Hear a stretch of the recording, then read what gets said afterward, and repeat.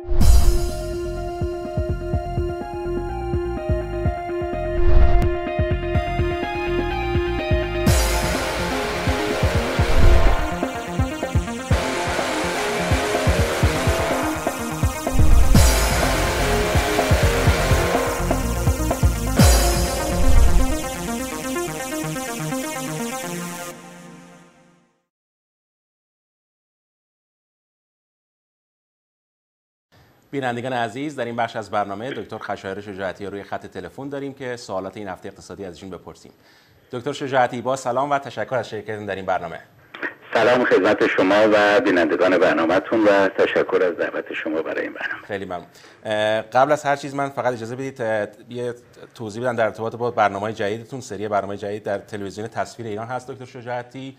و برنامه اینشون هر سه شنبه شب ساعت 8 به شب. سه شنبه 8 به شب از همین کانال پخش میشه. تکرارش یک شنبه است 5 بعد از ظهر و در کانال GLWiZ ایرانیان Financial Times در GLWiZ کانال 175 هر پنج شنبه 6 بعد از ظهر برنامه ایشون پخش میشه. درست میگم جناب شجاعتی؟ درست بسیار دکتر شجاعتی سوال سوال اول من در ارتباط با مسئله که الان به قول معروف داره تو اقتصاد اتفاق میفته و ما داریم می‌بینیم که اقتصاد واقعی real economy و اقتصاد finance economy اقتصاد مالی داره در دو جهت کاملا مختلف داره میره. یعنی اقتصاد واقعی مردم هر روز دارن یا ساعت کارشون کم میشه یا کم حقوقاشون کم میشه یا کاراشون از دست میدن. و سطح زندگی همه داره پایینتر میره. از اون داریم تو قسمت finance داریم می‌بینیم stock market هر روز داره بالا میره. خونه ها شروع بالا رفتن. توضیحش چی است واقعا؟ چرا داره اینجوری میشه؟ حالا توضیحش خیلی ساده است. دلیلش هم این هست که ما به اصطلاح موقعی که صحبت از مشوق های اقتصادی میشه یا از اون طرف صحبت از ریاضت اقتصادی میشه ما با دو نوع موضوع مواجه هستیم. یکی تا اونجا که صحبت از به اصطلاح مشوق ها باشه fiscal stimulus داریم و monetary stimulus داریم. برعکسش monetary austerity ریاضت پولی داریم و ریاضت مالی fiscal austerity الان سیاستی که در آمریکا داره دنبال میشه و حتی در بیشتر کشورهای دنیا مخصوصا کشورهای غربی از بحران 2008 به این طرف در واقع استیمولسی که دارن یا سیاست های مشبهی که دارن عمدتا در عرصه مسائل پولی داره اتفاق میفته یعنی بانک مرکزی میاد از طریق خرید باندهای وزارت خزانه داری و سایر باندهای وابسته به بخش مستقلات. ریال استیت اینها رو می‌خره و پول تزریق می‌کنه به سیستم و جوابی هم که باید بگیره داره می‌گیره. یعنی همونطور که شاید عزیز اشاره فرمودید می‌بینید که بازار سهام تقریبا دائم داره افزایش پیدا می‌کنه. با میشه گفت منیپولیشنی که در واقع اینها در بخش مستقلات راه انداختن. به طور مصنوعی البته نه در کل آمریکا ولی در بعضی از شهرها و ایالتها قیمت ها را به طور مصنوعی دارن بالا می‌برن. و خب موقع که اینجوری باشه این بخش جواب میده و جواب خوبی هم داره میده. ولی اون چیزی که اقتصاد واقعی را به قول شما بتونه به راه بندازه احتیاج به های مالی یا fiscal stimulus داریم که fiscal stimulus به حالتی میگن که دولت. دو تا کار می‌کنه. یا مالیات ها رو پایین میاره اگر بخواد stimulus داشته باشه یا پروژه های عمرانی رو در واقع خود دولت دنبال می‌کنه تا از این طریق بتونه درآمد رو بالا ببره ایجاد کار بکنه و رفاه اقتصادی به بار بیاره. الان متاسفانه سیاستی که داره دنبال میشه در بخش پولی در بخش مانتری به قول معروف سیاست هاشون کاملا خوب و جنبه تشویق کننده داره سیمولس داره. ولی در بخش مالی اونجایی که به اقتصاد واقعی داره برمیگرده با کمال تاسف جنبه ریاضت اقتصادی پیدا کرده. همینطور که شاهد هستید از اول سال تا مالیات ها رو بالا بردن و دائما به اشکال مختلف مالیات ها داره افزایش پیدا می‌کنه. از طرف دیگه هم دولت متاسفانه هزینه های رفاهی و اقدامات عمرانی خودش رو داره کم می‌کنه و حذف می‌کنه. طبیعی است واقعی همچین اتفاقی بیفته همونطور که فرمودید باعث میشه که درآمدها کاهش پیدا کنه درجا بزنه پایین بره و شرایط کار درسته که الان میشنوید هر ماه از این بابت البته بد نیست که خب تعداد کارهایی که در ماه ایجاد میشه خوبه و رو به افزایش هست ولی اینکه نوع این کارها هست که متاسفانه اکثرا در مشاغلی هستن که دستمزد یا حقوقی که میدن خیلی پایینه کم و بیش در حد حداقل دستمزد یا مینیمم بیچ هست. و بعد هم کارهایی که ایجاد میشه غیر از اینکه حالا درآمدهای کمه حقوقای کم از تو بخشهایی که هستن بیشتر هم به صورت نیمه وقت هست. یعنی مثلا هفته پیش خود دولت آخرین گزارشی که داده بود بیرون از اول سال تا به حال نزدیک به 953 هزار تا. همچین چیزی کار جدید ایجاد شده. منتها از این تعداد کاری که ایجاد شده 77 درصدش جنبه پارت یا کارهای موقت داشته. اونم تازه در بخشهایی که درآمد کم بوده. خب این وضعیت باعث میشه همین حالتی رو به وجود میاره که بهش اشاره کردیم. یعنی شاهد رشد و رونق بخش مالی هستیم و متاسفانه شاهد افت و تنزل بخش اقتصاد واقعی. تا کجا می‌تونه این مسئله پیش بره؟ یعنی تا, تا همینجوری می‌تونه برای همیشه اینجوری باشه که نه یه جا بالاخره یکی مجبوره بره تو جهت اون یکی دیگری. مثلا فرض یا وضع مردم خوب بشه اقتصاد واقعی شروع کنه رشد کردن یا از اون ور finance economy یا به قول معروف اقتصاد مالی شروع کنه پایین اومدن. نه از نظر تئوریک و امکاناتی که سر راه وجود داره. این سیاست رو میشه برای سالهای بسیار بسیار طولانی ادامه داد. منتها خب جوابی هم که ازش خواهند گرفت همین وضعیتی که می‌بینید یعنی می‌تونن تا پنج سال دیگه الان پنج سال دارن این کارو می‌کنن دیگه از سال 2008 رو این طرف. پنج سال دیگه ده سال دیگه هم می‌تونه همین وضعیت ادامه پیدا بکنه. چیزی که اگر بخواد یعنی در واقع یه مسئله مسئله تصمیم گیری سیاسی واقعا رفتی به اقتصاد نداره. اینه که دولت و حکومتی که سر کار هست و گردانندگان امور سیاسی چه تصمیمی بگیرن. اگه بخوان همین کار ادامه بدن بله می‌تونن سالیان سال این وضع ادامه بدن. استاک مارکت هم برای خودش هر روز و هر ماه و هر سال بره بالاتر. ولی که اثرات اقتصادی واقعیش اون وقت دردسر درست می‌کنه دیگه. حالا آیا مخالفت های مردم به حدی میشه بتونه تأثیر گذار باشه که دولت رو مجبور کنه سیاست های خودش رو عوض بکنه یا نه؟ تو سالهای اخیر متاسفانه مسئله دیگه که شاهدش هستیم بیاعتنایی دولت مردا هست به خواستهای مردم. یعنی هیچ تظاهراتی هیچ اعتراضی هیچ دگرانی از جانب مردم تا به حال متاسفانه. علا رقم اینکه در خیلی از موارد هم گسترش زیادی داشته و حوال بزرگی پیدا کرده ولی تا به حال هنوز طوری نبوده که بتونه دولت رو مجبور کنه سیاست خودش رو عوض کنه. تا زمانی که همچین فشار اجتماعی ایجاد نشه و دولت رو به تجدید نظر تو سیاست خودش وادار نکنه نه این سیاست می‌تونه برای مدت های طولانی ادامه پیدا کنه بله. سوال بعدی من در ارتباط با مسئله بهره است الان بله. بانک مرکزی سیاستش عوض نکرده همون مقدار پولی که به سیستم تزریق می‌کرده هنوز هم داره تزریق می‌کنه بله. ولی اینی که بهره داره بالا میره نشون, نشون دهنده چی هستش چه مسیجی داره میده حالا علت بالا رفتن بهره یا اینترست دو تا چیز می‌تونه باشه. یکی این که ممکنه بازار اون اعتمادی رو در واقع که به بانک مرکزی داشته که بتونه بهره رو پایین نگه داره از دست داده. یعنی فکر می‌کنه که دیگه بانک مرکزی نمی‌تونه بهره رو کنترل کنه و پایین نگه داره. یک دلیلش می‌تونه این باشه که واقعا کنترل از دست بانک مرکزی خارج شده باشه.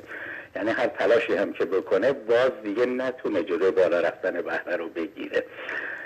تنها در همین محدوده ای که اینها دارن کاراشون انجام میدن به نظر من بانک مرکزی باز هم قادر خواهد بود بهره رو پایین بیاره.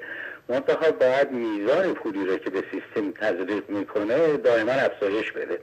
یعنی الان 85 میلیارد دلار در ماه اینها دارن تزریق می‌کنه به سیستم. متاسفانه مسئله بدهی در واقع به این شکل کار کردن مثال ها شما تو برنامه های خودم من بارها بهش اشاره کردم. این است که اینها رو تشویق می‌کنن به حالت فرد معتاد.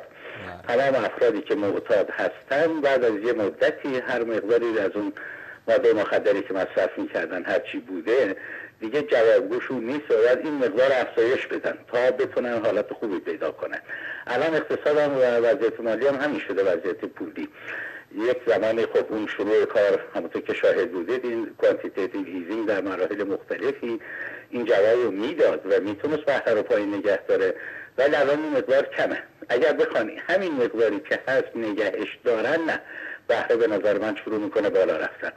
ولی اگر فردا بانک مرکزی تصمیم می‌گیره که به جای ماهی 85 میلیارد دلار مثلا ماهی 100 میلیارد دلار یا 50 میلیارد دلار به سیستم تزریق کنه اون وقت موفق میشه که بهره رو بیاره پایین. پس یه مسیجی که میشه گفت اینه که داره عملا بهره داره به بانک مرکزی میگه که پول برسون دیگه یعنی داره پول کم میشه. با یعنی با اون 85 میلیون هم 85 بیلیون هم کار نمی‌کنه. دقیقا. یعنی به خاطر این خب به حال این سیاست رو دنبال کردن موقعی که شما دائم دارید پول چاپ می‌کنید از این روزا کسی پول چاپ نمی‌کنه. جنبه الکترونیکی داره این اتفاقاتی که میفته ولی فرق نمی‌کنه حالا چه به صورت کاغذی چاپش کنن چه از اعتبارات و سیستم گردش پولی به صورت الکترونیکی صورت بگیره. قدرت خرید پول دائما کاهش داره پیدا می‌کنه. موقعی که قدرت خرید پول بیاد پایین. تمام اون کسانی که در باند مارکت هستند که بزرگترین بازار بازار سهام نیست در واقع. بازار همین باند مارکت هست که یه عده خیلی خیلی خیلی زیادی پولاشون اونجا نگه میدارن تا بتونن یه درآمد ثابت ماهانه یا سالانه داشته باشن. ولی موقعی که ارزش این پول میره پایین و قدرت خریدش میاد پایین تر طبیعی است که اون بهره های کم جوابگوشون نیست و بهره بیشتری می‌خوان. برای جواب به اینها تنها راه همونطور که ارز کردم این است که دائم بتونن مقدار پولی را که ماهانه به سیستم تزریق می‌کنن افزایش بدن. بالاخره سوال آخر من در ارتباط با مسئله است که در بین اقتصاددانان این روزا پیش اومده و دو نظریه مختلف باش برخورد می‌کنیم. بله. یه نظریه مثل آقای پال کروگمن هست که میگه باید این مشوقای اقتصادی خیلی با حتی شدت بیشتری بریم جلو وگرنه میریم توی دیفلیشن و وضع خرابتر از این خواهد شد از اون ور یه ادعای, ادعای افراد دیگه هستن که معتقدن که میگن که این سیستم همونجوری که شما اشاره کردید با توجه به اینکه مثلا آدم معتاد هی باید بهش پول تزریق کنیم این باعث میشه که حبابهای بزرگتری به وجود بیاد و بله. در نهایت این حبابا میتره که و کل سیستم مالی در کل دنیا رو متلاشی می‌کنه. مثل آقای مایک فابر فیبر. بله. یکی از کسایی که شما کدومشون؟ به نظر شما کدوم دسته دارن درست میگن؟ و حرف برای اینکه آقای پال کروگمن از نظر کلی درست میگه. که بله اگر بخوان این سیاست رو کم کنن مقدار پولی که تزریق میشه. یا متوقفش کنن مسلما یک بحران بسیار بسیار وحشتناکتر از اون که سال 2008 دیدی تو اقتصاد پیدا میشه. نه تنها بازار سهام به شدت ضربه خواهد خورد بلکه اثرات منفی شد تو بخشای دیگه مخصوصا بخش ریل استیت هم مثلا آدم می‌تونه ببینه. سیاست های این شکلی در صورتی موفق میشم تو که ارز کردم که واقعا به جای بخش پولی منتقل بشه به بخش مالی. یعنی دولت شروع کنه پروژه های عمرانی دست گرفتن و توسعه اون نوکارها این پول اگه خرج بشه هم اتفاقا بسیار بسیار مثبت خواهد بود. درسته در مراحل اولیه کسی بودجه ایجاد می‌کنه بدهی به بار میاره ولی موقعی که اقتصاد راه افتاد مردم شروع کردن کار کردن از طریق مالیاتی که دولت می‌گیره به راحتی می‌تونه بدهی ها رو پرداخت کنه و هیچ مشکلی هم نخواهد داشت. منتها نظر آقای پال کروگمن در واقع بیشتر رو همین قسمت سیاست پولی متمرکز است به همین دلیل من با دید ایشون مخالفم. حرفهایی که در بسته هایی مثل آقای مارک فیبر یا دک کیسی امثال اینها می‌زنن به نظر من کاملا از یه دید صدیستی سرچشمه می‌گیره. برای اینکه اینها مایلن در اقتصاد دیفلیشن شدید ایجاد بشه و ضربه اقتصادی محکم اینطوری بخوره تا اولا کسانی که سرمایه های خیلی بزرگ و بیشتر دارن بتونن دارایی ها و اسید های موجود را به قیمت هرچی از اونتر و مفتر در واقع از چنگ مردم بیارن بیرون از یه طرف و از طرف دیگه موقعی که دیفلیشن بشه یا انقباض اقتصادی ایجاد بشه مسلما خود تعداد زیادی بیکار میشن و ضربه های این شکلی می‌خورن. افرادی هم که تو اون موقعیت قرار می‌گیرن دیگه با هر دستمزد و حقوقی هر چقدر هم که کم باشه هر چقدر هم که کار طاقت پارسا باشه هر چقدر هم که ساعت کار اضافه بشه باز هم دیگه تو اون شرایط مجبور میشن تن بدن به دستمزدهای کمتر و سطح زندگی پایینتر و سطح زندگی پایینتر و فلاکت مردم چیزی که در دسته موسوم به لیبرتریان ها که آقای مارک فیبر و داکیسی و امثال اینها عضوش باشن و وابسته بهش باشن دقیقا همین سیاست فاشیستی رو می‌خوان متاسفانه. خیلی ممنون متاسفانه میگم با آخر وقت رسیم دوستشون بر این مبحث ادامه بدیم ولی باید بذاریمش در هفته بعد. با تشکر از شرکت در این برنامه جناب شجاعت ممنونم از لطف شما. خدا شما. بینندگان عزیز در ادامه برنامه با ما باشید. الان در حال حاضر می‌دونید که مارکت یکم داره بالاتر میره. وضعیت وضعیت ریال استیت داره بهتر میشه. بعد از اون فکر می‌کنید که باش توجه به شرایط فعلی سیستم اقتصادی داره بهتر میشه خریدا داره بهتر میشه وضعیت اقتصادی مردم داره بهتر میشه یا نه؟ هنوز به اون حدی که باید نرسیده یا هیچ تغییری نکرده؟ نه هنوز به اون حدی که ما توی دست تو بزنس هست هنوز به اون حد نرسیده. ولی خب استپ با استپ میره جلو. الان در حال حاضر اکثر رادیوها تلویزیون ها اونایی که مفسر اقتصادی هستن این شهر رو داره خودشون داره میدن. میگه که یه خورده بازار نسبت به سابق خیلی بهتر شده و یه استپ بیشتر بهتر از بهتر. ولی نه تمام بزنس ها بزنس های خاصی هست که این داره میرن جلو. همون real estate که شما فهمودین روی زمین و این چیزا. ولی بقیه business ها هنوز به اون صورت چیز خود real به طور کلی اصلا crash کرد که آمد پایین که خیلی پایین شد. بله. خیلی رفتن توی خونه هاشون اصلا به طور کلی تا دو سال پیش رفت توی خیلی خیلی زیاد رفت تو foreclosure و خونه ها رو از دست دادن زمیناشون از دست دادن ملکشون از دادن اون ساختمانی که داشتن از دست دادن اینا متاسفانه. خود بانک ها با اون وضع بد اقتصادی که شد دولت هم به کمکشون کردن اینا خود چند خیلی بانک ها ورشکست شدن به طور کلی. الان ایده هستن که پولای نقد دارن به خاطر که خب از نظر ریل استیت فرق می‌کنه. من می‌بینم که خیلی ها پول کش دارن و می‌بینین مخصوصا توی کورت ها و خونهایی که حراج میشه اونا رو بیشتر می‌خرن با پول نقد. اینا نصف قیمت می‌خرن ریمادل می‌کنن میفروشن. ولی بانک ها الان نمیدن وامو به مردم. اینه که به نظر من من نمی‌بینم که الان چیز جالبی باشه. مارکت جالبی نیست. من هر روز اینجا هستم. باور بکنین که اگه بگم ایز شیم حتی این مغازه به این خوبی با این همه جنس با این منطقه خوب ما شاید اجارمون هم در, در نیاد. شما نگاه می‌کنین هر جایی که بیشتر وضع اقتصادی خراب میشه سوالات و کوششنا بیشتر میشه از و اعتراضا بیشتر میشه که شما سرویس خوب ندی بخاطر که پول نداره. نگران الانه که چه کار بکنه. اول مهم براش اینه که مرگج خونهشو بده ماشینشو بتونه یک کاری بکنه که راه بره فقط. ماشینه که الان نمیان خدا شده من نگاه می‌کنم مثلا داغونه داغونه. یاری میگه ام سو ساری نمی‌تونم افورد کنم. اینه که به من نشون میده که وضع اقتصادی زمانی اقتصاد نشون میده که این بیاد ماشینشو بذاره بگه go ahead repair ش کن پولشو بده بتونه بده. چک هایی که تو business داره برمیگرده من هرگز تو زندگیم ندیدم تو این از سال 85 ما دیگه چک قبول نمی‌کنیم. چک میده من خدا پول نداره. account ش بسته متاسفانه اتفاقا افتاده. نه الان مطمئنا داره بهتر میشه. الان وضعیت اقتصادی مردم خیلی بهتره. خیلی راحت میان package می‌خرن برای وکیشن بلیط هواپیما می‌خرن مسافرت می‌کنن. این دال بر اینه که نشون میده که وضعیت اقتصادی بهتره. اصلا به طور کلی به خصوص ما که وسط وست بود هستیم مثل Wall Street اینجا. یعنی قشنگ نشون میده که همون رفت و آمد ماشینا به ما ثابت می‌کنه که business داره بهتر میشه. روز به روز داره بهتر میشه. البته باز یه خبرایی هست که میگن آخر امسال دوباره یه recession خواهیم داشت. امیدوارم شایعه باشه ولی به طور کلی ما همیشه آماده ایم. چون از اون موقع که داریم تو غربت زندگی می‌کنیم هر روز یه اتفاق تازه میفته it's okay اگر real estate یکم بالا رفته ولی از طرفی من یکی از عزیزان دوستان من که در کار وام هستش پرسیدم اگر business ریل استیت هات شده پس چرا وام نمیدن؟ گفت ببین نمی‌خوان بدن. انقدر بهانه می‌گیرن که ندن به خاطر اینکه می‌خوان ریتا رو ببرن بالا. سخت گیری می‌کنن. فقط اون کسانی می‌خرن که پول کش دارن. اون هم ارزون می‌خرن.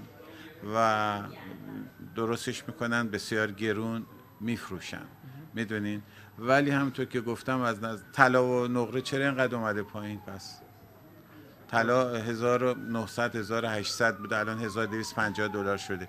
نقره آنسی 33 دلار بود. الان شده 22 دلار. چرا اینها سقوط کرده؟ به نظر من خب اوضاع خود بهتر شده.